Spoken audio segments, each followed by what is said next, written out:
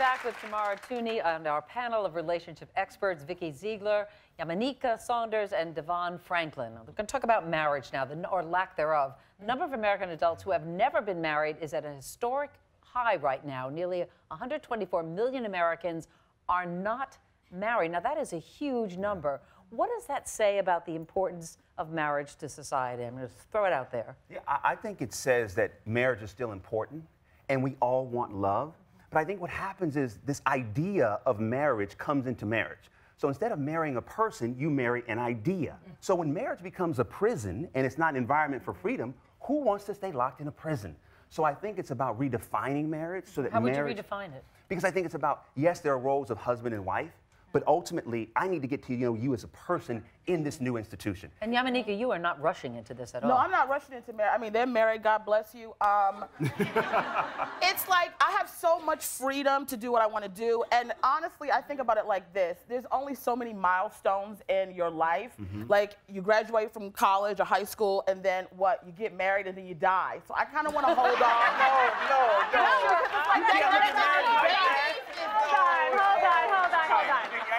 Go ahead, Vikki. I- right, no. hold on. I'm a divorce attorney, right? That's what I do by day, and I believe in marriage. I believe in love. I think it works. But I wrote a book called The Premarital Planner. Why? Because I see so many people going through divorce and ending, Mm-hmm. not having those skills and tools, what DeVon was talking about. So you need to build a marital foundation. You can't just focus on the wedding. You have to focus on your life together. And for me, just like a driver's license, you practice, you take your test. I think everybody gets a marriage license. They should get a test. Get some classes on how to be in a healthy relationship. What does it take?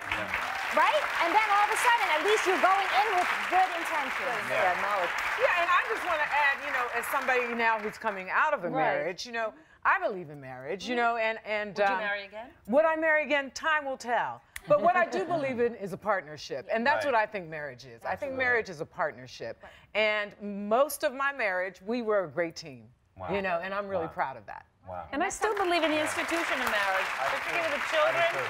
I think there's very something about that family core that Yeah. It's being, But I- but and I, think, think people that- are stopping getting married because they're concerned about unemployment, cost of living. Mm-hmm. People, you know, it's expensive. One household becomes two, and people are afraid to get divorced because it is expensive. But I think you can't erode the concept no of single, why. all the single people are worried about can I still climb a mountain? Can I jump out? You got to do so It's much freedom. when you have a partner. It's like I don't want to But worry do it about together. And- But, but see, here's the thing. Okay. I agree with what you're saying, but I think what it is, though, is the issue here is freedom. And we have an idea that marriage takes away freedom. Whereas marriage should bring more freedom because you're with the partner Yes. that you can trust and who can love you and friends accept and you. support You Right, want and to be with support your best you. friend. If you see it as a prison, As something's wrong. grow, Right, exactly. Right. Yeah. Right, but there's Yes. still someone that you. I, I think marriage is beautiful. Yeah. All my friends are married. I'm the only single one. They don't even mm-hmm. throw the bouquet anymore. They just hand it to me while I'm sitting down. I get it. But it's still someone. I just want to take my time because I want to be at a point where I want to consider someone else's feelings. I'm a little selfish Yes. So right you're now. not waiting for Mr. Right. You're No. just okay. No, I see not at all. That's important. though. I see someone in you're there. I think.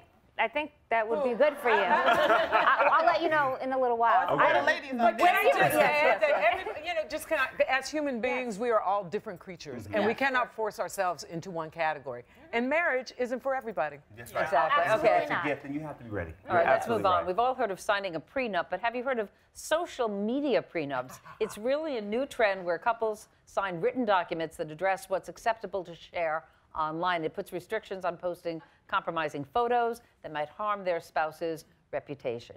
Tamara, you are all for this. Well, you know, I'm sitting, I'm like chomping at the bit. I'm chomping at the bit. Yeah, I, I think absolutely. You know, the social media, uh, you know, is something that right now seems to have no parameters mm-hmm. or legislation, if mm-hmm. you will, and people are doing anything and everything. So yeah, I would mm-hmm. definitely want uh, some kind of agreement that says, Oh, yeah. you know, that says, you know, if, if I'm going to take those sexy pictures, that you can't put them on blast if we break up. You know what I mean? Absolutely. Wait, and when what? things are good, I don't agree. well, all right. And let me tell you why it's important. The, it, oh, you know what? Let's hear why it's you don't No, agree, because then I- I'm going to tell you why we have to have to do Listen, this. I, I don't agree. I think that if you are involved with somebody Mm-hmm. in a relationship and you are worried about what they're posting, that's a red flag. Stop right there. Mm-hmm. Yeah, because but- there but has to be a foundation of Tamara, but trust. Tamara is a great example of somebody who had a wonderful marriage for years, Yes. totally believed in her husband. Now at the, end, I'm Love not saying it's been.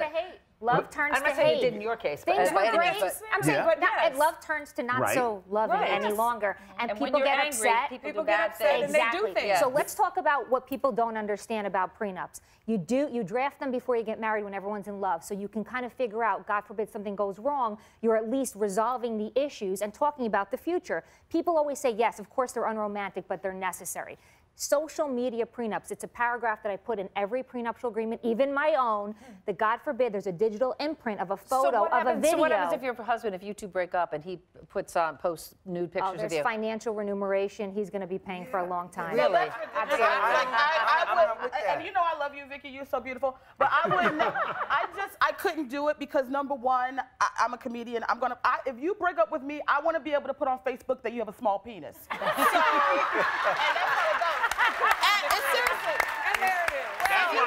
we wouldn't be sleeping together before marriage. That's why. That's why I wouldn't be going there. But if, if you want to protect yourself, no, seriously, if you want to protect yourself from being the victim of some craziness once you break up, make sure when you send him those cute pictures, you look sexy so you're not, you know, like, oh, embarrassed. You're like, yeah, I look good. Put them up. Put them on iTunes, iCloud, everything.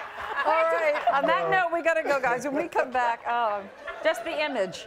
We're taking questions from our audience. Stay with us.